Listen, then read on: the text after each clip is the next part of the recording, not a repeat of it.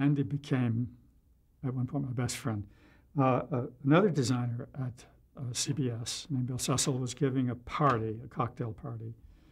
Um, he lived down in the 60s on 6th Avenue. I think that's a wholesale flower market.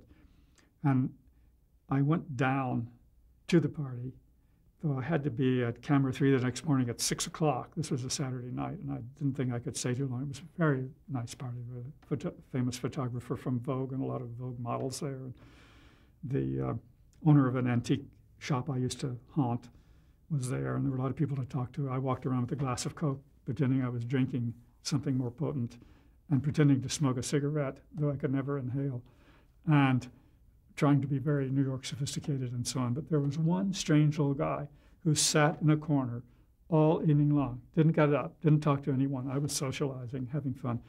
And I thought, you know, I've got to be up at the studio at six tomorrow. But before I go, I'm going to go over and talk to him and try to get him up and get him circulating. And I went over and he introduced himself. I introduced myself, and his name was Andy Warhol, a name I'd heard because he was a very famous advertising illustrator, which is what I originally thought I was going to be.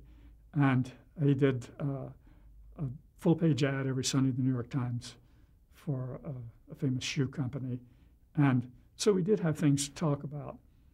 And when I said that I was leaving, he said, Well, I'm leaving too. I said, No, stay, meet some people, have some fun. he came down, as we were going down the stairs, there were people arriving for the party coming up the stairs. When we got down on the street, it was raining slightly, but I knew a taxi would come along soon and bring uh, some more guests. We stood under an awning of a taxidermy shop, which is unusual to find in New York.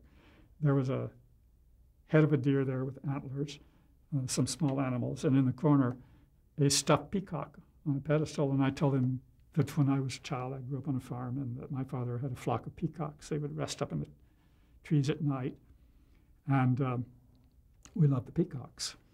Anyway, a cab came. He lived on Lexington Avenue, about uh, 34th Street, I think. I was farther down uh, near Union Square.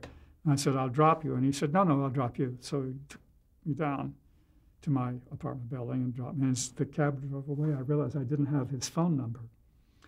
Anyway, I went to the show the next day, took care of that, went to work on Monday. When I came home Monday night, the elevator man had my mail and said, Here's your mail. And a package came for you. At least I can call it, I don't know what it is. It wasn't exactly a package, but I left it in front of your door upstairs.